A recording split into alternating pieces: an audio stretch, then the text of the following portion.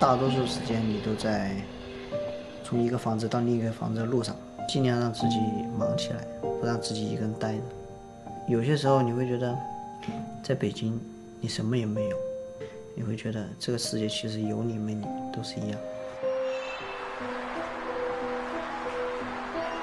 我不识字啊，没上过学的人呢、第一次出来就到饭店里就点菜也不会点，客人说点鱼香肉丝，我说你好，你看看哪个是个鱼香肉丝，他给我指着这个是鱼香肉丝，是哦，这个是鱼香肉丝，这个字叫个鱼香肉丝，我就天天抄抄写那字赖大赖大的，现在写的也带赖大赖大的，后来我就这样一点一点的学会的。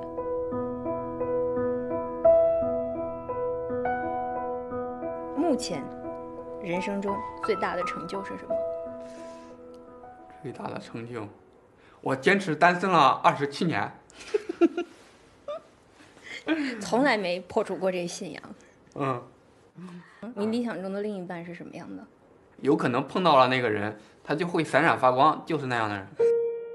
我最大的梦想，比方说，我就和我的父母和我弟弟一家人住在一起，在北京那个房，不应该叫房，我觉得应该叫家。我觉得有了房子，才有了家。现在还没有实现。最大的梦想，改变世界。啊，作为一个互联网的公司的员工嘛，就是在刚接触互联网的时候就被洗脑过。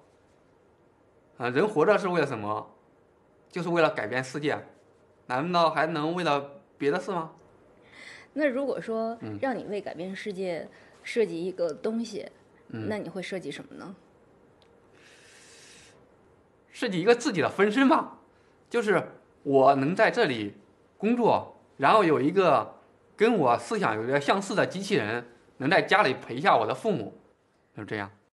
是被客人打了。嗯，但是我们是夜里营业嘛，是吧？我们正在给他们上菜，他小孩正在摔我们的餐具，不让你说话，他就使劲的扔你的餐具，他就是找事的嘛。他吃了饭吃了四五百，他就给你二百块钱，他就走。我就把门锁上了嘛，门锁上了，后来他就打了那个服务员，又把我脸砍了两巴掌，打的红了，打红了，打懵了都。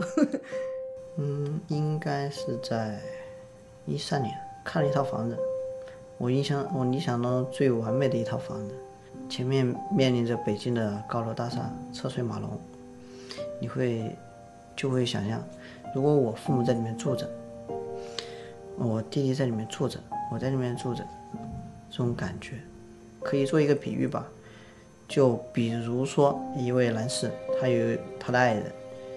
面临着北京的车水马龙，晚上喝杯红酒，回头一看，你你心爱的人在旁边能够安然入睡，其实这种时候才是就这种感觉，你会觉得你很有成就感，你的努力一切都是值得的。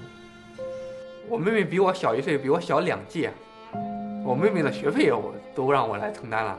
后来，然后这些我特别自豪，就是不用他们来养了，你父母是不是也挺你挺以你为骄傲的？嗯，还算是吧，嗯，送个手机，他说就说了，你花那么多钱干什么？我以前那个破的诺基亚还可以用的好好的嘛，但是他们说归说，但是用了之后，他就告诉我这个怎么用微信啊，怎么视频聊天啊什么的，特别开心嘛。两个父母两个人都争抢着摄像头，嗯，对着我看。然后有时候我把摄像头挪开了吧，他说怎么见不到人了？他就是想要一直盯着人看。我小孩的东西我也不舍得扔，我都给他用开水什么的都烫过、消过，都洗得干干净净的，一直没扔。我一直就出来了，孩子这么大了，我还在那里边放着呢。这是他的尿片啊，想一想，这是他小被子啊，呃，毛毯啊什么的，都在那放着，好好的。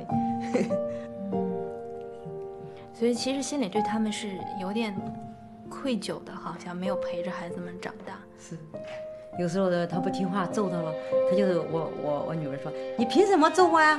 你你又没照顾我，他就这样说啊，我孩子啊，女儿啊。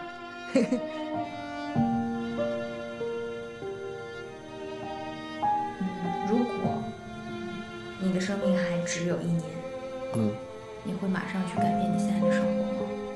立马回老家和父母在一起。和他们一起回去生活做什么呢？你也可能做不了什么，每天看着他们就已经很足够了。你记忆里最后悔的时刻，就是感觉岁月太匆匆了，嗯，就是后悔好多事情没有去做，也没有时间来做。